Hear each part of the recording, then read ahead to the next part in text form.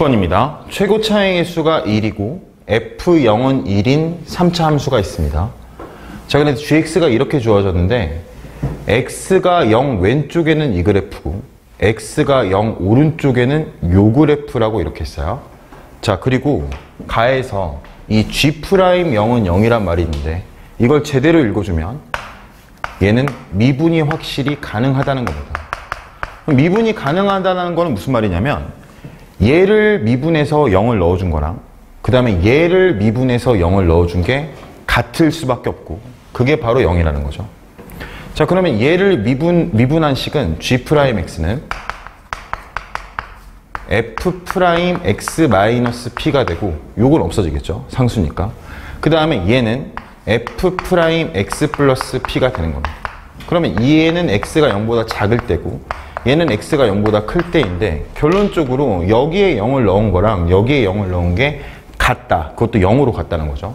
그러면 그 말은 무슨 말이냐면 f'-p와 f'p가 0이라는 겁니다. 즉 마이너스 p에서 극 대값을 갖고 그 다음에 p에서 극 소값을 갖는 3차 함수라는 거죠.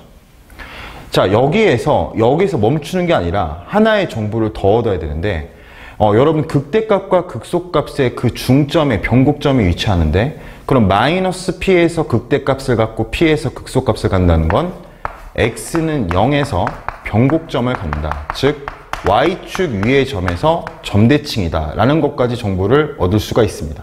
자 그럼 이거 이런 그래프를 그려보면 자 그 x축은 그냥 그리지 않겠습니다. 왜냐면 fp에 따라서 달라지기 때문에 그리지 않을게요. 여기가 지금 0,1인데 마이너스 p에서 극 대값을 갖고요. 이렇게 그 다음에 p에서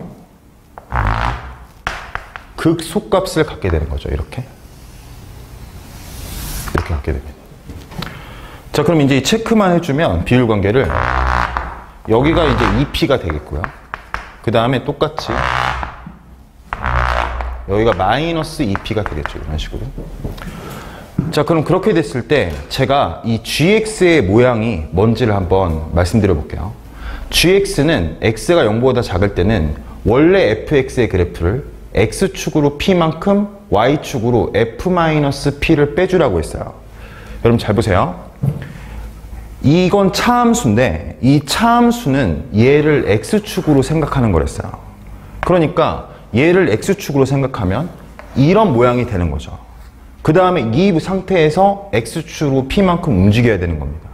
그러니까 그 모양은 어떻게 될 거냐면 여러분들이 보다시피 이 부분을 그려주면 되는 거죠. 이렇게 올리니까. 그래서 이렇게 여기 이 부분을 여기다 이렇게 따서 그리면 이게 gx가 됩니다. gx의 왼쪽. 자, 이 부분도 봐볼게요. x가 0보다 크거나 같을 때는 fx 플러스 p에서 fp를 빼라고 했는데 제가 다시 한번 말씀드리면 이 뒷부분을 fp를 x축처럼 생각을 해야 됩니다. 그럼 그때 그래프는 여기가 x축이 되는 거예요. 근데 그 다음에 x축으로 마이너스 p만큼 움직이는 거니까 이거를 여기로 이렇게 옮겨 붙였다고 생각하면 됩니다. 그러면은 지금 이렇게 이 부분은 여기서 따온 거고 이 부분은 여기서 따온 거라는 걸 알 수 있는 거죠. 그렇게 했을 때 문제에서는 0부터 p까지 gx를 적분하면 20이 된다라고 했어요. 그러니까 여기 부분 여기 부분의 넓이가 20이라는 거죠.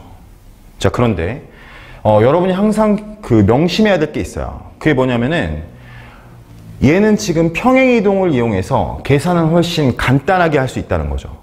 그래서 제가 여러분 여러분들이 지금 이 한 칸이 P라는 건 다 알고 있잖아요 지금 제가 이걸 약간 조정해 볼게요.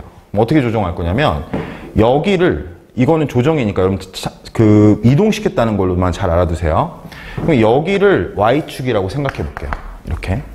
그 다음에 여기를 X축이라고 생각해 볼게요. 그럼 이제 조정한 식이니까 제가 이 식을 HX라고 해보겠습니다.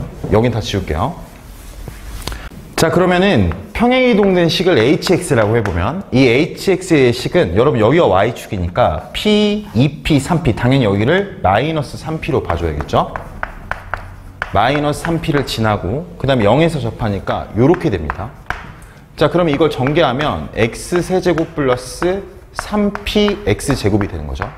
자, 그럼 여러분 아까도 말했듯이 지금 이 부분에 대한 넓이가 20일 때 p의 값을 구하면 되는 거거든요. 그럼 저는 한 칸을 알게 되는 거죠.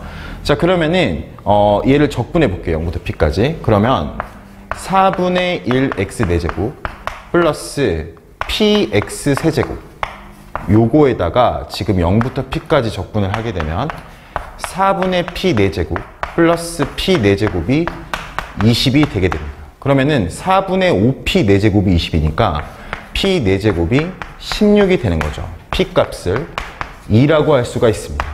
자, 그러면 우리가 얘를 다시 지우고 원래 모양대로 바꿔볼게요. 원래 그려져 있는 모양대로. 그러면은 이렇게 이제 x축이 확정이 안 되고 이렇게 그려져 있었죠? 자, 그랬을 때 지금 문제에서 f0이 1이고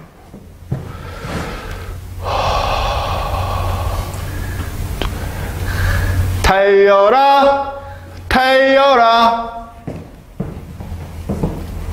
이어서 가겠습니다.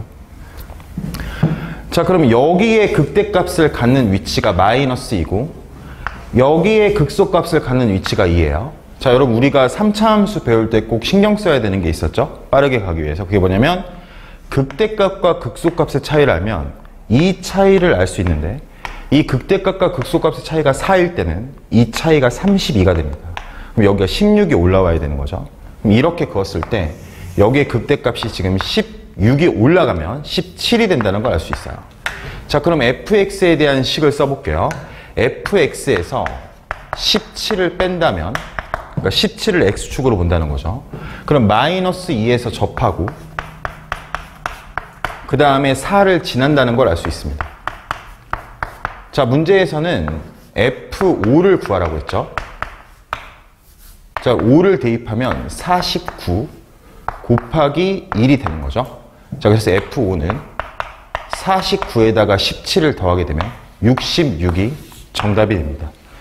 20번의 정답은 66입니다.